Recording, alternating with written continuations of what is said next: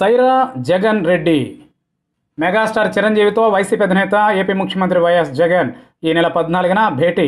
Political సర్కిల్స్లో hot టాపిక్గా మారింది. వాస్తవానికి టాలీవుడ్ నుంచి వైసీపీకి సహకారం తొలి నుంచి అంతంత మాత్రమే. నటి రోజా పృథ్వీ పోసాని కృష్ణమురళి వంటి వారు మాత్రమే జగన్ నాయకత్వానికి మద్దతును బహిరంగంగా ఇంటా బయట కొనసాగించారు కొనసాగిస్తూ ఉన్నారు. గత ప్రభుత్వంలో చంద్రబాబు అధికారంలో ఉండడం ఆయనకు టాలీవుడ్తో ఉన్న మంచి సంబంధాలు వైసీపీతో చెలిమిని దూరం చేసింది.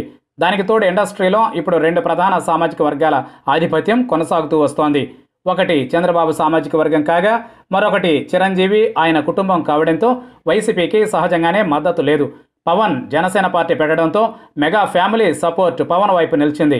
ఇక టీడీపీకి పూర్తి స్థాయిలో అండదండలను టాలీవుడ్ అందిస్తూ వస్తోంది.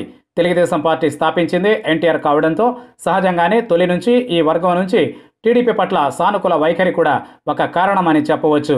ప్రస్తుత జనరేషన్లో మెగా ఫ్యామిలీ డామినేషన్ కూడా గట్టిగానే ఉంది.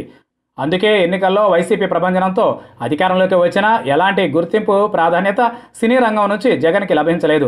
వైఎస్ మరణం తరువాత కాంగ్రెస్ అధిష్టానం వ్యూహాత్మకంగా చిరంజీవి ప్రజారాజ్యాన్ని విలీనం చేసుకుంది. దాంతో ఉమ్మడి రాష్ట్ర భావి ముఖ్యమంత్రి చిరంజీవిని ప్రమోట్ చేసే ఛాన్స్ ఉందన్నది రాజకీయ వర్గాల్లో టాక్ అయింది.